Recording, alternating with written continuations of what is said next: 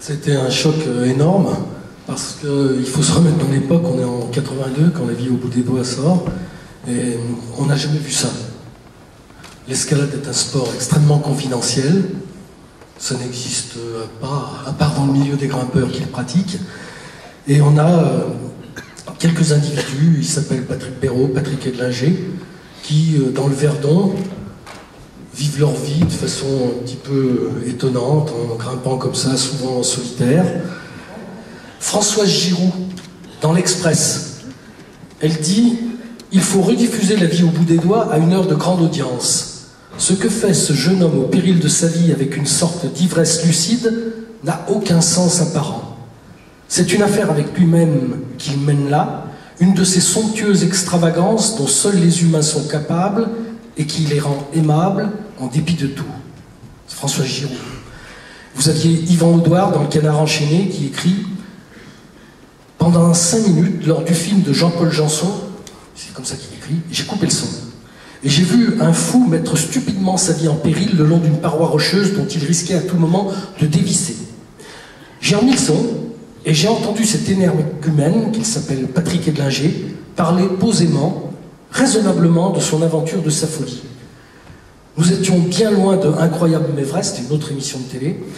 Nous étions en présence d'un artiste, c'est-à-dire d'un homme qui veut savoir qui il est, de quoi il est capable et jusqu'où il peut aller trop loin et qui faisait le seul miracle à la portée de l'être humain, se connaître pour s'accomplir. c'est dans le canard enchaîné. Euh, et quand il est allé à Paris, euh, présenter par exemple à la salle Playel La vie au bout des doigts, c'était des grands moments. Et puis lui, ça l'amusait.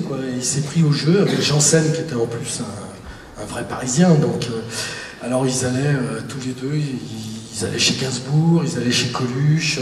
enfin, ils menaient la grande vie, quoi. Hein. Et il se marrait bien, quoi. Et euh, bon, ça n'a pas duré très longtemps parce que Patrick s'est rendu compte quand même qu'il était un peu loin des falaises, un peu loin du sandwich et du verre d'eau. Et donc, euh, il est reparti après assez cher, falaise. Mais c'était énorme, effectivement, c'était un très gros succès. Un succès, euh, Paris Match l'avait par exemple avait fait une espèce de classement des sportifs préférés des Français en, en 84, je crois. Et il faut dire que Patrick Edlager arrivait devant des gens comme Platini ou autres. C'était vraiment quelqu'un qui avait beaucoup, beaucoup de succès. Et Yannick Noël admirait beaucoup. Yannick Noël admirait beaucoup, oui. Euh, plein, de gens. je crois que tout le monde l'admirait. L'admirait surtout à l'époque.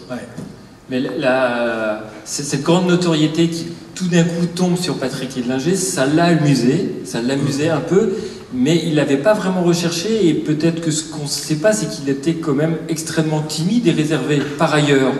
Est-ce qu'à un moment donné, c'est pas quelque chose qui l'a envahi? Comment il a géré ça à l'époque?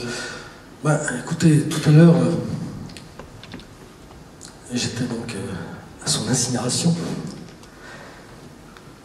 Et Maurice Robex a fait un très bel éloge Maurice Redex, qui est le... Les assistants de Jean-Paul Janssen et qui après a été un des cinéastes d'opéra vertical. vertical. Et Maurice disait, euh, parfois c'est très dur d'être un géant. Patrick Edinger, il ne faut pas oublier qu'il a fait rêver des millions de gens dans le monde entier.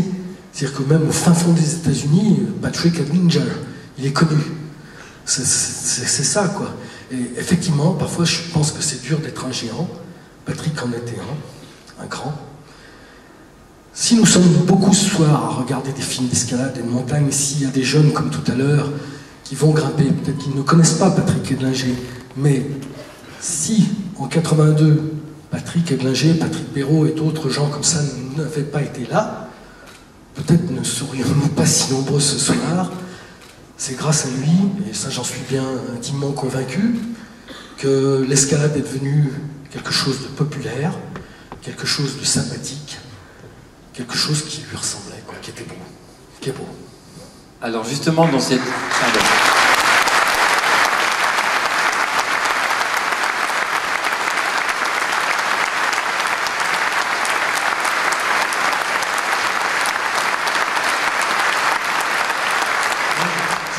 quand même vous lire ce tout petit mot que Patrick Edlinger a écrit il y a trois semaines, et qui est la dédicace du livre voilà, qu'il vient de réaliser.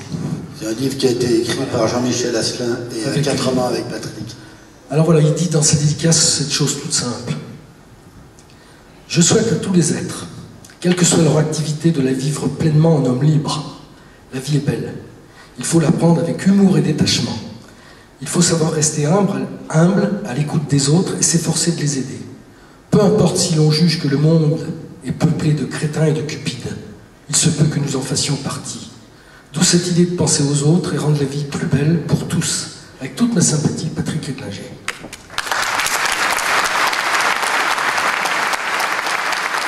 Merci. Merci.